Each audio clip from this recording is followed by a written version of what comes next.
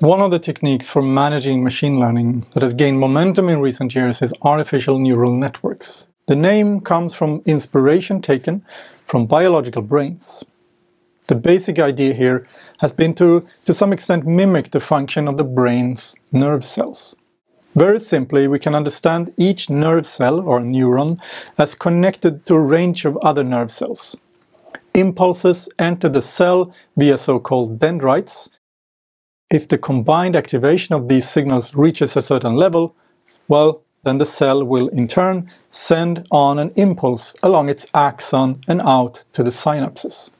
This principle was something that Warren McCulloch and Walter Pitts could describe mathematically in the 1940s. Another researcher named Frank Rosenblatt built on their model and created an electronic system called the perceptron. Rosenblatt's perceptron was not only made to mimic a biological network, he also succeeded in creating a system that could learn. What Rosenblatt built can be seen as an early version of an electronic retina and brain. The system could be trained so that it could distinguish between objects when he held up different symbols in front of it.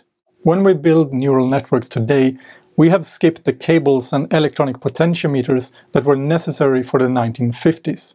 Today, everything is done in code, digitally, but many of the basic ideas remain the same. But how does all this work then? How can a neural network look at an image and learn what the image represents? Well, first we must think about how a digital image is composed. Every image consists of several lines of pixels. If the pixels are large, we can distinguish them individually. But if they become small enough, we will no longer notice every single point. It will instead be the content of the image that appears before us. For a computer, the size of the pixel doesn't matter. However, the number of pixels will affect the degree of complexity and the computing power we need to make the calculations. So to make this straightforward and easy to follow, we can imagine that we have three tiny images that only consist of 9 pixels each. These three images still express three different symbols that exist in our world. For our example, we will therefore want to build a neural network that can look at an individual image and determine which of the symbols is displayed. First, we need to look at how the information in the pictures is structured we have three rows with three dots in each. Another way to arrange this is to move all the pixels into one single row. As long as we perform the same transformation in all images, the information has not changed between them.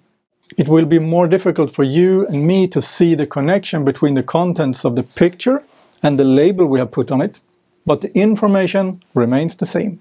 The next step is to convert each pixel into something calculable.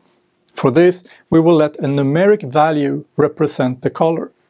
If we work with grayscale, we only need to care about one color dimension, and here we will let the white or light gray pixels be represented by 0, black pixels get a value of 1.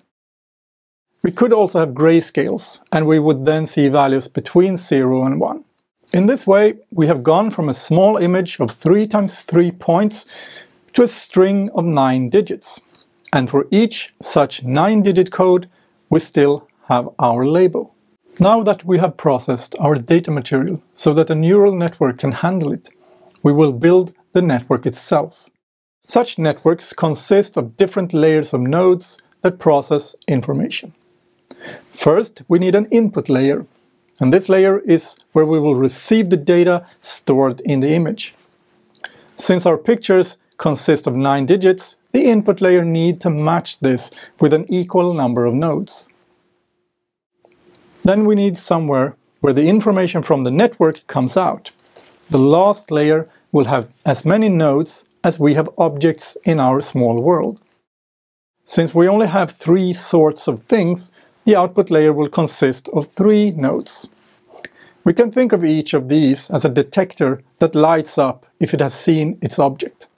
Between these two layers, we will put a so-called hidden layer. The number of nodes here may vary, so we can settle for 5 for this example. What we do next is to connect all the nodes. Remember Rosenblatt's tangle of cords. Each arrow here is a mathematical value called a weight. It can be a positive or negative value. And when the information we have stored in one of the nodes is moved on to the next one, it will be multiplied by this value. In this way, the signal will either be amplified or weakened, depending on the weight. That much for the design of the network. How will it operate? We want our network to be able to take in information from one of our images and respond in this way, with a clear signal about which object it has detected. The same network should then be able to take in information from one of the other pictures and give us a different answer. Then again, it is not this simple.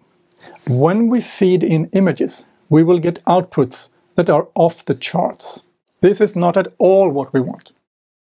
The reason here is that when we set this up, we randomly assigned values for the weights between the nodes. Therefore, the network has no idea how to handle the information that will flow through it. What we need to do is to train our neural network. The training is carried out by showing an example, like this, where we know what answer we want. With the correct answer as a starting point, we can also determine how big the error is in each node. It is the weights that connect the nodes that cause these errors. Therefore, we can use an algorithm that adjusts the size of each weight so that the error is made smaller. This process is called backpropagation, and for each example we feed the system, we also adjust the values for all the weights in the entire network. If we repeat this procedure enough times, the network will eventually make much fewer mistakes. We don't need to get the perfect answer here. If the signal is clear enough, we can simply choose to go for the maximum value and treat that as the correct response.